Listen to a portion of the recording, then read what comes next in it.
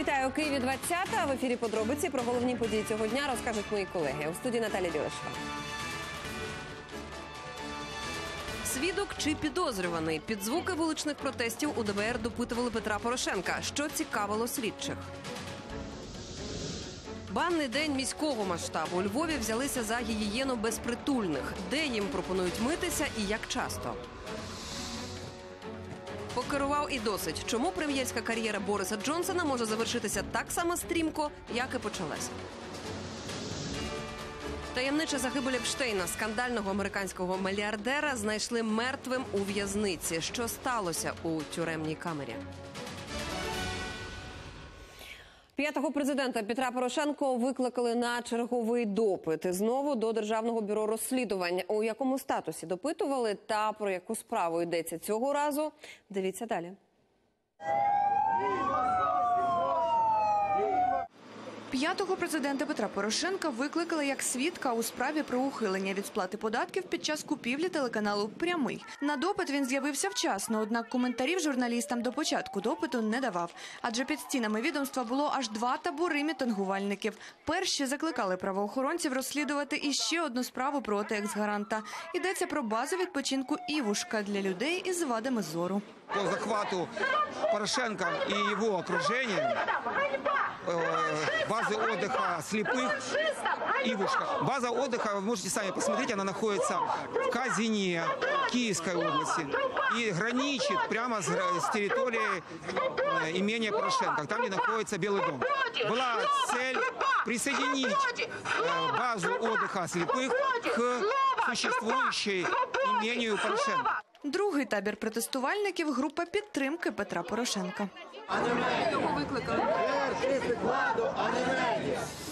Чего он выкладывал? Короче, с этой трубой вечно пристает к Порошенко. Поэтому, собственно, на очередные допыты вызывает. Серед активістів член партії ЄС Артур Герасимов. Він запевняє, допит екс-гаранта свідчення того, що нова влада утискає свободу слова. Порівняйте 5 років президентства Порошенка і відношення до журналістики. Тоді порівняйте те, що коїться сьогодні. Як на мене, це один з елементів ланцюжка наступу на все проукраїнське в цій державі, наступу на всі здобутки, які за 5 років просунули Україну вперед. І дивіться, сьогодні йде наступ на проукраїнський, проєвропейський телевізійний канал. Окрім депутатів, були й молодші діти Петра Порошенка, син Михайло та доньки Олександра і Євгенія. Вони не очікували, що від журналістів їм дістануться незручні питання. А батько не лає вас за те, що ви російською мовою розмовляєте? А, ну, конечно, в идеале было бы разговаривать по-украински, но я говорю по-русски, да. У вас вдома немає репресій з цього, з цього поводу, ні? Ну, э, репрессий нет, но меня отец задавал уже пару раз вопросы, просил, чтобы я все-таки пытался переходить на украинский. Після тригодинного мітингу і марних спроб перекричати одне одного між активістами зав'язалися конфлікти. Та коли з будівлі вийшов Петро Порошенко, розпочався справжній безлад. Активісти викрикували гасла, а охорона штовхала всіх, хто стояв на її шляху. Мітингувальники у відповідь жбурляли в президента яйця.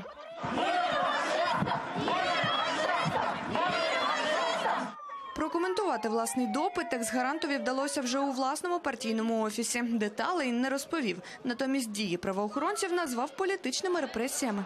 більше трьох місяців Державне бюро розслідування робить спробу тероризувати журналістів.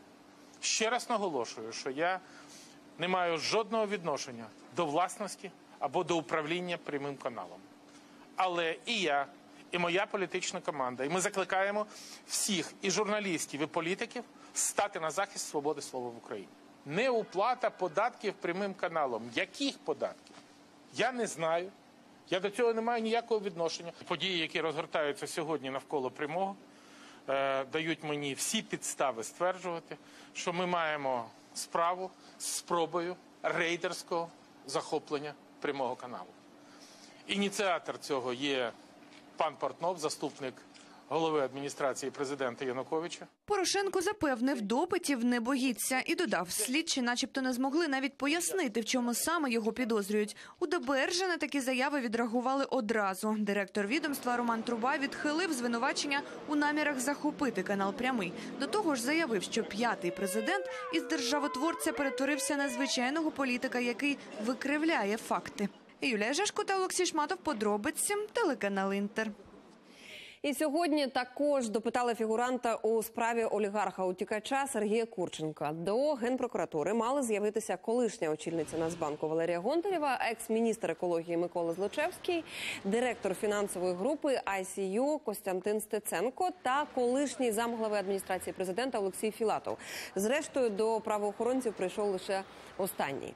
Філатов заявив, що може бути у справі лише свідком. Я нагадаю, що Курченка, соратника президента утікача Януковича, звинувачують у численних махінаціях у газовидобувній та наутовій сферах. За інформацією змі, вивести гроші з України йому, начебто, допомогла компанія ICU, яку свого часу заснувала Гонтарєва.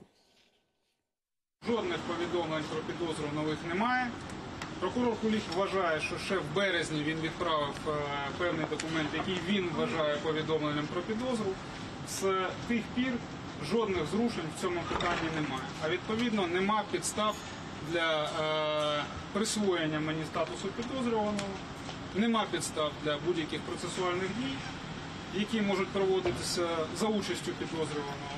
З мого боку, я запропонував надати всі покази, які можуть бути необхідні органу слідства для проведення досудового розслідування в даній кримінальній справі, але в статусі свідка. Кадрові чистки через бурштин. Президент Володимир Зеленський вимагає від Нацполіції та СБУ звільнити керівників відомств у кількох регіонах. Про це глава держави заявив у Житомирі під час наради щодо незаконного видобутку- бурштину. Зеленський вважає роботу силовиків у боротьбі із копачами незадовільною. Крім того, президент закликав керівника Житомирського обласного управління лісового господарства написати заяву на звільнення. Рокитнівський, Дубровицький, Володимирський, а, Зарічненський і Сарненський райони. Керівників райвідділів, будь ласка, звільніть. Вони, вони не допомагають нашій країні. А потім ми розберемось, хто в схемі з них, хто ні. Хто ні. Житомирська область, Оливський та Оврицький райони, і Волинська область. Це Ратнівський і Любешівський район. До пана Баканова, будь ласка, е, змінюйте го- голів Служби безпеки України у трьох областях: Рівненська, Волинська, е, Волинська і Житомирська. Центральна виборча комісія зареєструвала перших 25 народних депутатів, обраних на позачергових виборах до парламенту 21 липня. Про це повідомляє прес-служба ЦВК. Зокрема, зареєстровано п'ятьох нардепів, обраних за списками партій, і 20 мажоритарників. Тим часом опозиціонери повідомили сьогодні, за яких умов вони готові підтримати партію влади. Про це на своєму youtube каналі заявив співголова опозиційної платформи за життя Юрій Бойко. Если мы увидим, что делаются конкретные шаги по урегулированию войны на Востоке, то мы будем партнерами в этом процессе и, безусловно, поддержим любые мирные инициативы, которые позволят выполнить обещание, данное нами избирателями, остановить войну. И выполнить решение, которое требует э, весь народ Украины. А в других вопросах, если это будет соответствовать нашим идеологическим базовым установкам и тем, ради чего нас избиратели отправили в парламент, мы тоже будем партнерами.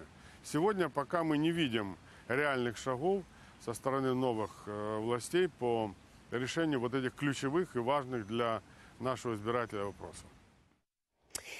В опозиційній платформі за життя звинувачують партію п'ятого президента Петра Порошенка у спробах створити псевдоопозицію. Європейська солідарність веде активні переговори щодо присутності її депутатів у керівництві Верховної Ради та парламентських комітетах. Так стверджують у поліцилі. Це на їхню думку спроба перекласти свої минулі помилки на колег по парламенту. Йдеться у заяві, опублікованій на сайті партії. Єдиною опозиці... опозицією Україні є саме опозиційна платформа за життя. Про це наголошують у керівництві політсили. У новій Верховній Раді опозиція повинна отримати можливість реального контролю за діяльністю влади, адже це європейська практика. Про це йдеться у заяві опозиційної платформи за життя. Е, Політична сила пропонує створити у парламенті 23 комітети та одну комісію з питань приватизації, а також два нових комітети з питань рішення проблем Донецької та Луганської областей та з питань молодіжної політики. Йдеться про все це у заяві цієї політсили. Переможець у 198-му одномандатному окрузі у Черкаській області Сергій Рудик сьогодні отримав посвідчення народного депутата, попри спробу його опонентів визнати вибори недійсними. Докладніше про це далі. Тривалі дискусії щодо визнання виборів недійсними та перемоги кандидата у 198-му одномандатному окрузі самовисуванця Сергія Рудика тривають і досі. Нагадаємо, його опонент Юрій Кармазін подав п'ять клопотань до суддів, аби визнати вибори недійсними. На відміну від Сергія Рудика, який переміг із результатом у 30%, Кармазін отримав лише 4% підтримки місцевих жителів. Спочатку Юрій Кармазін доводив у суді, що протокол про підсумки голосування члени виборчкому нібито склали із порушеннями. Проте суд ані першої, ані апеляційної інстанції жоден позов не задовільнив. Відтепер Юрій Кармазін фігурує у судах як представник кандидата від партії Слуга народу, який посів друге місце на виборах із відривом у 1015 голосів. Підстави для позову знову стосуються протоколів окружної центральної виборчих комісій. Але, попри всі перепони, Сергій Рудик вже отримав у ЦВК посвідчення народного депутата. З таким рівнем протидії е, на рівні зловживанням правом я ще ніколи в житті не стикався. Я достатньо досвідчений чоловік. Це вже друга каденція моя. До того я був керівником кількох центральних органів виконавчої влади, був заступником мера Києва. Але видно, замовили мене на самому високому рівні, тому що е, рівень протистоянь іде шалений. Щоб ви розуміли, сьогодні рішення Верховний суд на користь центральної виборчої комісії, яка визнала мене переможцем, прийняло в 2 години 30 ночі. Зараз всі хвилини йде чергове оскарження Верховного суду. Тобто оскаржується будь-яка дія, яка приймається спочатку окружною виборчою комісією, потім центральною виборчою комісією. Визитівка Харкова та найбільший іміджевий проект мера. Антикорупційні активісти заявляють, що розкопали фінансову звітність одного із найбільш скандальних комунальних підприємств міста, яка стосується парку Горького. Що знайшли про це у наступному матеріалі? Парк Горького. Його відкрили в 2012-му напередодні футбольного чемпіонату Євро 2012. Зелені газони, широкі алеї, бронзові скульптури, атракціони, які привезли з Європи, чисті туалети. Все це й досі вражає містян. Останні роки в антикорупційному центрі намагалися отримати інформацію, де і на яких умовах чиновники знайшли гроші для такої масштабної реконструкції. Навіть судилися з мерією і з'ясували, парк збудували, узявши позику, а заставою була будівля міськради. Закуплені були атракціони кошти взяті у ПАД Промінвестбанк у 2011 році. Там частково в валюті, частково в гривні були взяті кошти. Е, Загалом загальна вартість 20 мільйонів євро кредиту була. Закладено було частково майно Харківського метрополітену, частково будівель Харківської міської ради. Сім років тому міський голова Геннадій Кернес обіцяв, парк стане прибутковим, і місто за чотири роки поверне кредити. Та не склалося. Щороку кредит подовжують, і за підрахунками антикорупційного центру віддавати треба ще 240 мільйонів гривень. З міського ж бюджету щоразу виділяють все нові суми на підтримку парку і на кредити, і на добудову нових атракціонів. За останні два роки парк Горького е, отримав від міського бюджету 300 мільйонів гривень фінансової підтримки. Головний підрядник парку Горького Альпакс СК зараз Державне бюро розслідувань підозрює цю компанію у тому, що вона перераховувала кошти, які отримувала від парку Горького. За останні два роки вони отримали 52 мільйони, 8 підрядів отримали від парку Горького. І Державне бюро розслідувань підозрює цю фірму, в тому числі в тому, що вона перераховувала кошти на компанії з фіктивними рахунками, фактично фіктивні компанії, а також відмивала по суті бюджетні кошти. Будують у парку з розмахом. Тільки ось цей туалет з рибками відремонтували майже за 200 тисяч доларів. А от заробляти власні кошти, попри дорогі квитки на атракціони, численні кафе на території, у парка не виходило. Тривалий час він був збитковий, і ось нарешті пішли прибутки. За перше півріччя, власне, 32 тисячі гривень. Я хочу наголосити, що 32 тисячі гривень це власне дві лавочки, ціна двох лавочок, які встановлюються в місті Харкові. Тобто парк Горького згенерував прибутку за перше півріччя 19-го на дві лавочки. Та чи відповідає дійсності ця сума? Активісти сумніваються. Насправді е, квитки коштують там дорого, дуже великий оборот у парку Горького, і я дуже сумніваюся, що такі маленькі цифри прибутку. Я вважаю, що такий маленький прибуток і взагалі збиток ще до цього може казати про те, що з цього комунального підприємства е, можуть виводитися кошти. Державне бюро розслідувань зацікавилося вже кількома епізодами реконструкції парку. Та поки триває слідство на підтримання і нові ремонти в парку, і далі виділяються немалі бюджетні кошти. Приміром, на ремонт адмінбудівлі, яку реконструювали сім років тому, знову виділили мільйон доларів. Андрій Кравець, Леоніда Борін, подробиці телеканал Інтер, Харків. Покарати винних у дерибані коштів Світового банку вимагає голова Конфедерації профспілок України Сергій Каплін. За його словами, 300 мільйонів доларів, які уряд позичив у Світового банку 4 роки тому на розвиток сфери соцпослуг, використані неефективно. Не реалізували 11 із 17 пунктів програми кредитування. Досі не створена створена інформаційна система надання послуг. Обладнання законсервоване, адже частина не відповідає проектної проектній документації. І до того ж, як каже Каплін, е, за єдиний сайт надання соціальних послуг в Україні переплатили у кілька десятків разів. Біля мільйона євро використано тільки для купівлі програмного забезпечення. За 50-100 тисяч доларів робилися примітивні сайти, зробити які може навіть школяр у комп'ютері за 15-20 хвилин. І так далі, і так далі, і так далі.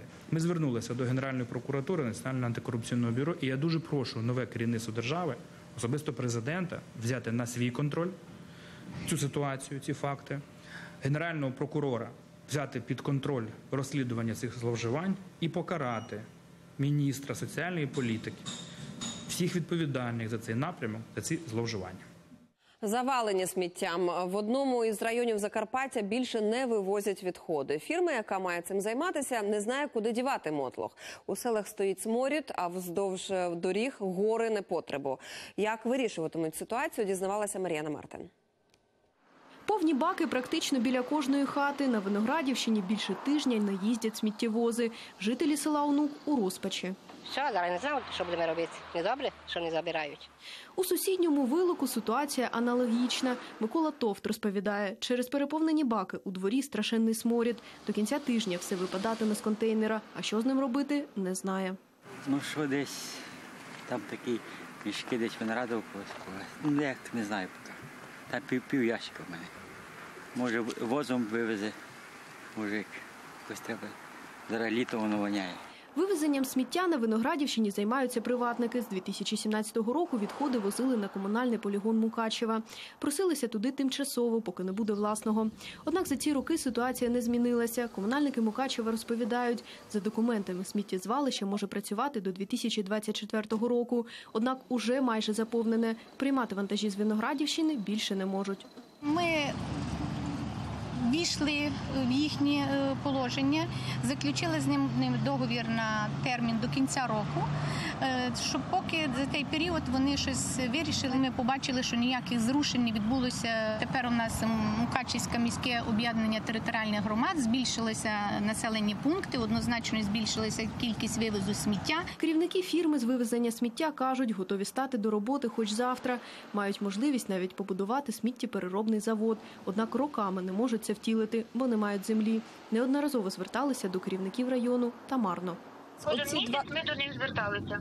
І який результат тих звернень? Ну ніякої. Одна із одне з питань із е, ситуації, що можна вийти, це зробити як перевалочну базу. Получається, що тверді побутові відходи їх е, е, збирати і потім на великі 70-тонні машини їх перезавантажувати і вивозити в інші місця. Ну це один із виходів положення. але це, це, це, цей вихід теж він не довготерміновий. З керівниками району поспілкуватися нам не вдалося. В робочий час на місці не застали голів ані районної ради, ані райдержадміністрації. В сільських радах зарадити теж не можуть. питання актуальне. Е, У нас багато господарств заключили договори на вивіз побутових відходів. І, на жаль, питання е, висить у воздусі, поки що вивозити нікуди. Коли ж зможуть розпочати повноцінне вивезення непотребу, питання відкрите. У сміттєвій пастці опинилися 30 населених пунктів Виноградівського району. Лариса Зубенко, Мар'яна Мартин, Юрій Ковальов. Подробиці телеканал Інтер, Закарпатська область. У Львові взялися за гігієну безхатченків. Щоб ті не відлякували туристів, для безпритульних планують проводити банний день двічі на тиждень. Як це буде виглядати, з'ясовувала Христина Гашенко. Парки, ринки та смітники, а ще пункти прийому, склотари та макулатури. Саме там найчастіше вештаються безпритульні. Роман на вулиці майже два місяці. Після смерті дружини з дому його вигнала донька. Поки тепло, миється в місцевому невеличкому озері. Спокійно все, покупатися, простиратися. І переда там речі? Сортує непотріб біля смітників Надія. Я вон іду і на себе впливаю. Голову мию майже кожен день, як тепло. Грію вон бутилочка води. Чи тої до шампуні. Гарячу навіть мені з магазину подають дві баклажки великі. Двічі на тиждень волонтер Віталій Іванов разом з колегами влаштовують обіди для безхатченків та малозабезпечених. Із сотні відвідувачів половина не має даху над головою.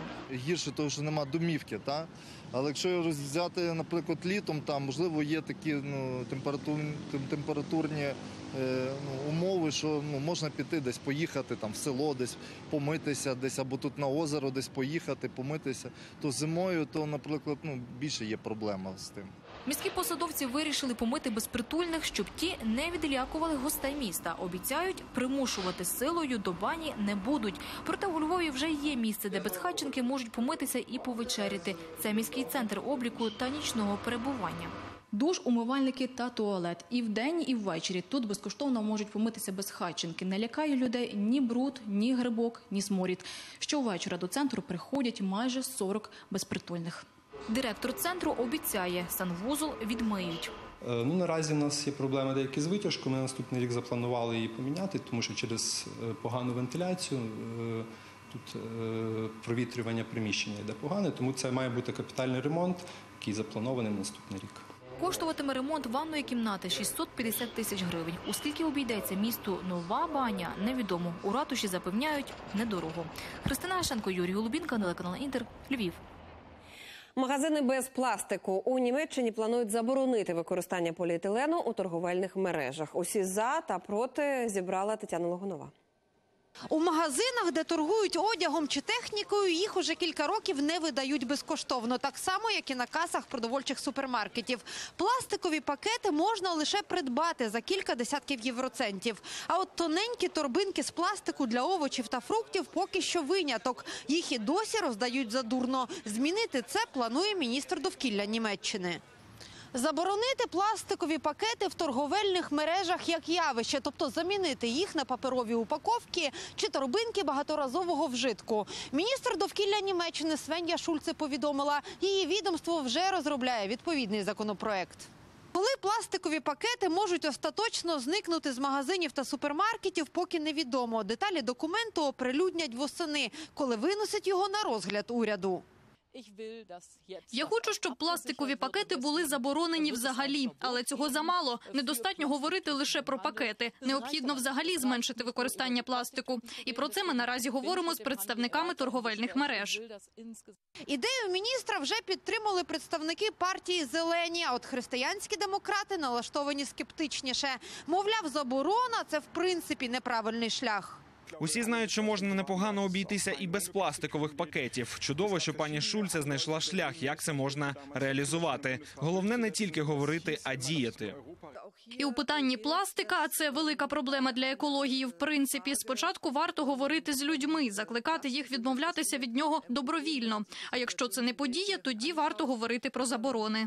За даними екологів, наразі кожен німець використовує трохи більше 20 пластикових пакетів на рік. Але раніше це число було в кілька разів більшим. Тетяна Логунова, Геннадія Нікієнко. Подробиці німецьке бюро телеканалу Інтер. Загадкова смерть. ФБР почало розслідування самогубства американського мільярдера, якого звинувачують у сексуальних зв'язках із неповнолітніми. Як він міг накласти на себе руку в'язниці та ще й під суворим наглядом? Дмитро Анопченко з'ясував усі деталі. Цю людину на Уолл-стріт називали великим Гетсбі, адже він володів мільярдами, але його біографія і бізнес, зокрема реальні цифри заробітків і капіталу, були у повіті таємницею. 66-річного Епштейна вважали одним з найуспішніших фінансових менеджерів Америки. З ним товаришували зірки, політики та президенти. Але 6 липня, після прибуття до Нью-Йорка з Парижа, його затримали за звинуваченням у торгівлі людьми з метою сексуальної експлуатації. Слідство стверджує, Епштейн налагодив цілий бізнес із вербування неповнолітніх дівчат, яких піддавали сексуальному насильству. Молодшій жертві було лише 14. Понад 10 років тому Епштейн вже фігурував у справі про секс із неповнолітніми, але тоді йому вдалося вийти сухим із води. І багато хто вважав, можливо, і зараз викрутиться, найнявши зіркових адвокатів. Втім, все змінили новини із в'язниці на Манхеттені. Цими вихідними Епштейна знайшли мертвим у своїй тюремній камері. Американська преса сьогодні пише, мовляв, у цій справі дуже багато дивних деталей. У в'язниці в Нью-Йоркському Манхеттені за Епштейном встановили особливий нагляд, так званий Suicide Watch, коли за арештованим 24 години на добу стежать відеокамери. Але незадовго до смерті нагляд раптово зняли, тому ніхто не знає, що насправді відбулося в камері. Самогубством свого підзахисного здивовані навіть адвокати просять це розслідувати. Що вже казати про журналістів, які чекали сенсаційних показів мільярдера, чекали, що він почне здавати своїх впливових друзів, які теж могли бути співучасниками сексуальних злочинів. А дружив Епштейн з багатьма з американської еліти, поза очі називаючи своїх приятелів інвестиціями та страховкою. Зокрема, він часто позичав свій літак Білові Клінтону та Кевіну Спейсі. Дружив навіть із президентом Дональдом Трампом. Часто бував у нього на ранчо. Втім, глава держави зараз каже, вже 15 років, як вони посварилися. У цій ситуації самогубство затриманого мільярдера багатьом вигідне, але чи було воно добровільним, якраз і з'ясовуватиме ФБР. А французький держсекретар Марлен Ш'япа сьогодні заявила, вимагає почати розслідування діянь Епштейна вже і у Франції. І вважає, його смерть не повинна позбавляти жертв правосуддя, на яке вони мають право. З Вашингтона Дмитро Анопченко, Сергій Коваль, американське бюро телеканалу Інтер. Стрімка та короткочасна кар'єра британського прем'єра на минулий місяця йому вже загрожує вотом недовіри. Хто сумнівається у здібностях Бориса Джонсона і чим це може обернутися для країни, розповість Світлана Чернецька. Ще й місяця не минуло, як Борис Джонсон став прем'єр-міністром Британії. Однак проти нього вже готують заколот у парламенті. Опозиція збирає голоси для висловлення вотуму недовіри очільникові уряду. Депутати невдоволені його обіцянкою Брекзиту за будь-яку ціну, адже вихід з ЄС без угоди відчутно вдарить по економіці країни та торкнеться кожного британця. Якщо парламент проголосує за висловлення вотуму недовіри прем'єрові, йому доведеться розпустити уряд та сформувати новий. А якщо Джонсон не погодиться, країну очікують дочасні вибори. Я не хочу дострокових виборів, адже вірю, що вкрай важливо здійснити Брекзит і відкрити нові можливості для країни, які обіцяв прем'єр-міністр. Тому ми зосереджені на тому, щоб забезпечити порядок для виходу із ЄС 31 жовтня. Наразі парламент порожній, депутати у відпустці. Тож ще принаймні до вересня Джонсон може бути спокійний. На відміну від мільйонів британців, за даними опитування фінансової компанії Premium Credit, Кожен п'ятий житель королівства запасається харчами та ліками. Люди бояться, що після жорсткого брекзиту виникне дефіцит товарів і ціни істотно зростуть.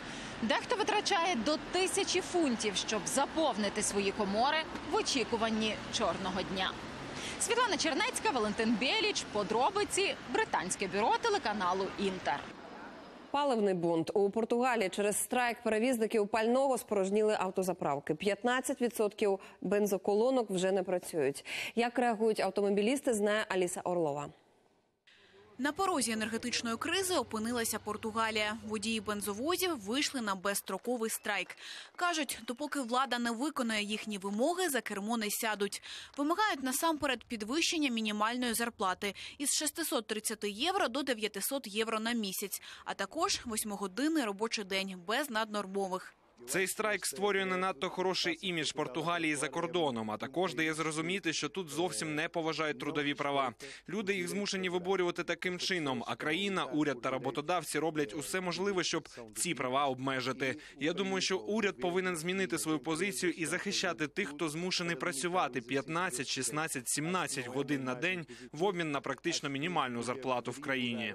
В рамках запобіжних заходів уряд Португалії оголосив енергетичну надзвичайну ситуацію. Тож від сьогодні придбати можна буде лише 25 літрів на автівку, а на вантажівку – 100 літрів. Рятувальні групи, аеропорти та поліція мають бути забезпечені на 100%. Тому влада наказала водіям забезпечити мінімальний рівень обслуговування, доставляючи пальне до аеропортів, лікарень і служб екстреної допомоги, а також 30% середніх щоденних запасів на АЗС у столиці Лісабоні і Порту, другому за величиною місті. Ми виконували мінімальні об'єми поставок з самого початку, але попри це, все одно на адресу тих, хто виконувати поставки відмовився, почали надходити погрози. Пропозиції хабарів на них чинили тиск. Ба більше тих, хто все ж таки від роботи не відмовився, увесь день супроводжує поліція та національна гвардія. Це не передбачалось узгодженою із владою домовленістю. Багато автомобілістів повністю заправили свої транспортні засоби перед початком страйку. За останні дні продажі бензину майже подвоїлися. Люди вже навчені гірким досвідом. У квітні перевізники пального вже оголошували страйк. Тоді це спричинило справжній хаос у країні. Аліса Орлова, подробиці, телеканал Інтер. Кримські поліцейські спільною з СБУ у Херсонській області затримали банду, яка контролювала злочинний бізнес на Херсонщині, Одещині, Запоріжжі, а також на території анексованого півострова. Члени угруповування збирали гроші з інших правопорушників до так званої спільної каси. Їх витрачали на особисті потреби злодіїв у законі та передавали до тюрем кримінальним авторитетам. Частина коштів йшла на підкуп посадовців. Про це повідомили у Нацполіції. За бандою правоохоронці стежили рік і, врешті, провели вдалу спецоперацію із затримання та влаштували понад 30 обшуків. Представниками злочинної організації за два останні роки було перераховано до вищевказаного общака близько 23 мільйонів гривень. 9 та 10 серпня поточного року на території Херсонської, Одеської та Запорізької областей проведені санкціоновані обшуки, під час яких вилучені докази вищевказаної протиправної діяльності. В Івано-Франківську на межі закриття опинився музей історії міста. Чому у місті не знайшлося вільних квадратних метрів для власної історії? Дізнавалася Жанна Дучак. Найстаріше темники яка є в колекції, ця. Тут є ініціали Йозеф Потоцький, Потоцький засновників нашого міста. Цегла, кахель, частини ліпнини, сотні унікальних експонатів розмістили в кількох залах. Усе це за неповних два місяці зібрали волонтери. Ще частину подарували небайдужі містяни. Є тут і старовинні двері. Ось цим майже 200 років. Колись вони прикрашали будинок у центральній частині міста. У музей же потрапили зі смітника. У музеї Івано-Франківська можна навіть доторкнутися до експонатів. Це також одна з найпопулярніших кімнат. Можна приміряти старовинний одяг, капелюшки, користуються великою популярністю.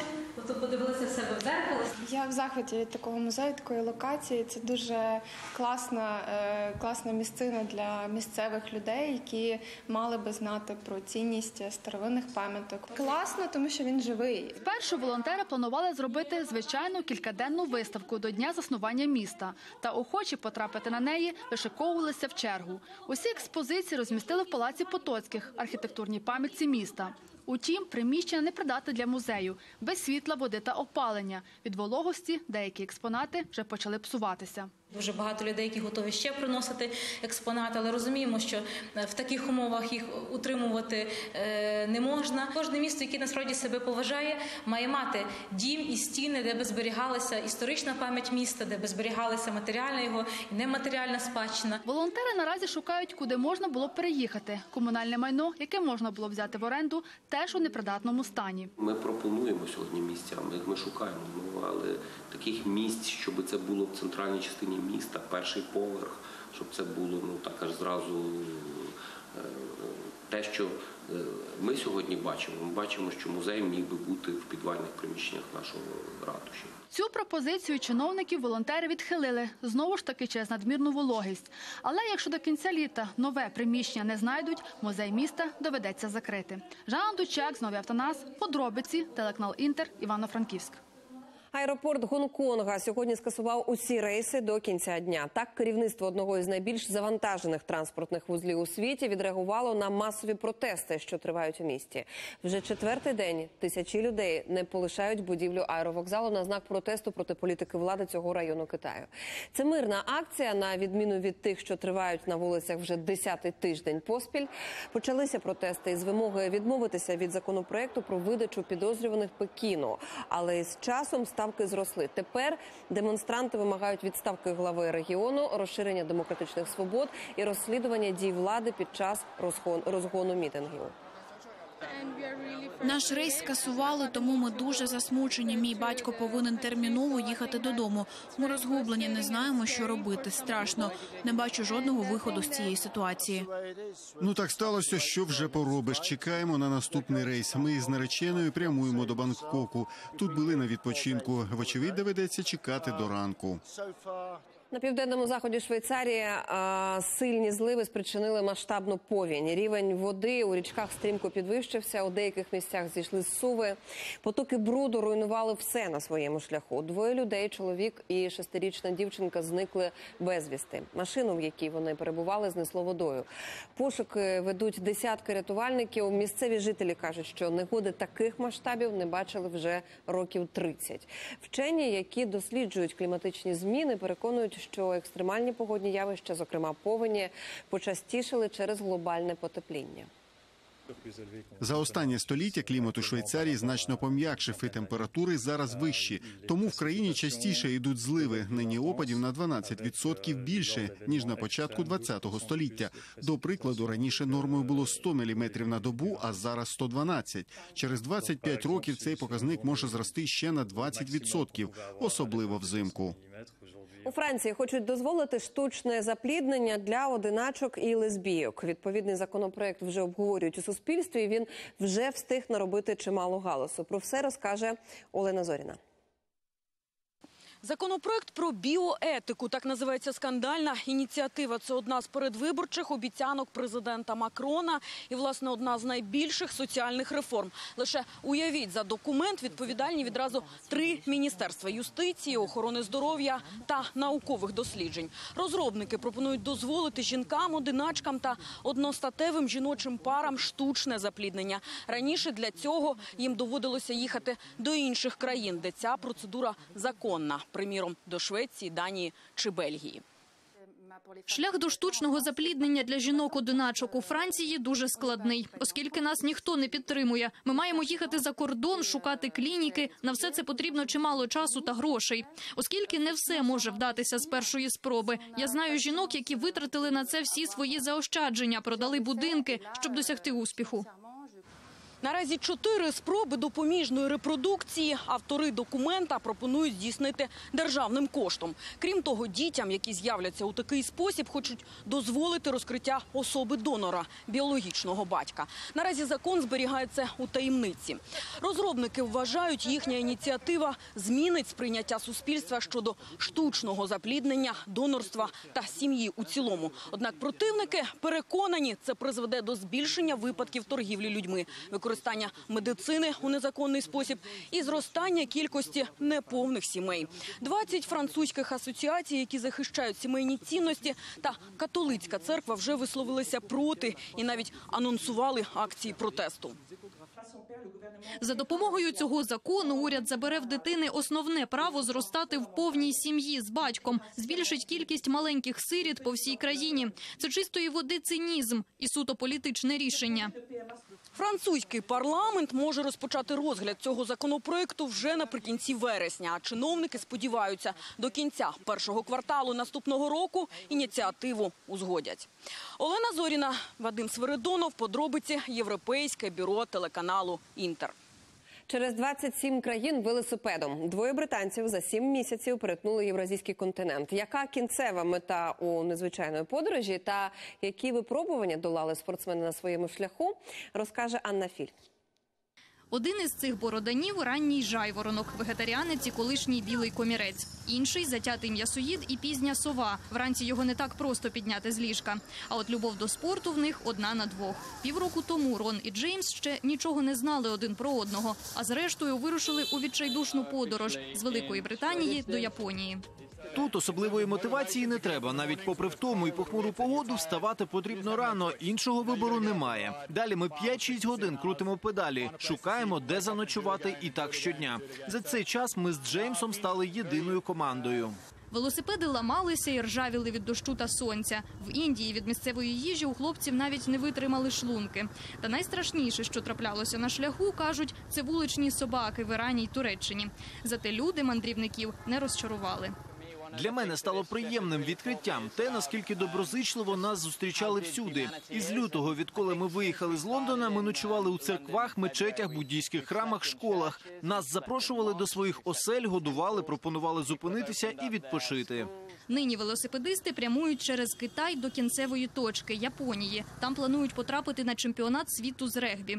Пропагувати цей спорт в Азії, де про нього мало хто знає, і було основною метою подорожі. А ще хлопці збирали гроші на доброчинність. Із собою ми всюди возили м'яч для регбі. Він нам допомагав знаходити спільну мову з людьми. Бувало, ми зупинялися на узбіччі і грали з дітьми. Весело було навіть тим, хто й гадки не мав, що таке регбі. А ще відчайдухи возили із собою золотий свисток. Він дасть старт першому матчу на чемпіонаті. Японія стане першою азійською країною, яка прийме світову першість із регбі. Тому Рон і Джеймс вирішили вболівати за господарів змагань. Стартує чемпіонат 20 вересня. Анна Філь, телеканал Інтер. Від якої стихії потерпають країни Азії, як одна світлина допомогла подругам зустрітися через 60 років, і як перемогти на конкурсі справжніх британських джентльменів. Про це та інше у нашому огляді. Уже 44 людини стали жертвами тайфуну Лекіма. На сході Китаю близько мільйона жителів залишилися без даху над головою. Тисячі гектарів посівів винищено. Повені розмили дороги і зруйнували мости. Негода завдала збитків на понад 2,5 мільярди доларів. Нині тайфун послабшав до рівня тропічного шторму і рухається в бік Пекіна. Стихія забрала життя 52 людей у М'янмі. Вони загинули внаслідок суву ґрунту в південному штаті Мон. Там уже кілька днів не вщухають дощі, які призвели до підтоплень. Чотири тисячі осель опинилися під водою. Рятувальники гелікоптерами доправляють продукти в райони, звідки людей не евакуювали. 25 тисяч жителів не можуть повернутися до своїх осель. На одному з Канарських островів Гран Канарія вирують лісові пожежі. Палає частина національного парку, популярного серед туристів. Вогонь насувається на населені пункти стіною. Близько тисячі людей евакуювали. Рятувальникам поки що не вдається взяти полум'я під контроль. Лісові пожежі вирують і в Греції. Загасити 60 осередків вогню заважає 40-градусна спека та сильний вітер. Найвищий рівень небезпеки оголосили в центрі та на півдні країни. Вогонь притул наблизився і до столиці. Афін загорілася трава на горі Імітос за кілька кілометрів від міста. Нині займання загасили. Потужний шторм налетів уночі на Каталонію. Найбільше постраждали міста на узбережжі на південь від Барселони. Вітер повалив десятки дерев, вулиці перетворилися на річки. У муніципалітеті Вентальо удар блискавки спричинив пожежу в кемпінгу. Дощенту згоріли чотири десятки будиночків на колесах. У Німеччині відшукали подруг, яких 58 років тому сфотографували біля Берлінського муру. Розмаріта Крімгільд було по 15 років. Одна жила в східній частині міста, інша в західній. Згодом зв'язок між ними обірвався. А нині вони побачили в газеті статтю, в якій розшукували дівчат зі світлини біля стіни. І через понад півстоліття подружки знову сфотографувалися на тому самому місці, де колись був Берлінський мур. Конкурс для справжніх леді та джентльменів у британському графстві Східний Сасекс провели щорічну розвагу олімпіаду для диваків. Її головна ідея висміяти манірні англійські звички і водночас з'ясувати, хто на них знається найкраще. Зокрема, учасники мають їхати на велосипеді і при цьому наливати чай, не розплескуючи. Також жбурляють сендвічі, хто далі. А ще проводять двобої на парасольках і вправляються в акробатиці із палицями. Щорічний фестиваль квітів відбувся в колумбійському місті Меделін. Уже понад 60 років флористи з усієї країни з'їжджаються сюди, щоб показати свій хист. До урочистого параду заздалегідь готують спеціальні композиції. Їх розміщують на дерев'яних підставках, які носять на спині. Теми найрізноманітніші від політики до спорту. Через квітковий фестиваль Меделін навіть охрестили містом вічної весни. Це всі новини на сьогодні. Вдалого тижня. Побачимо завтра.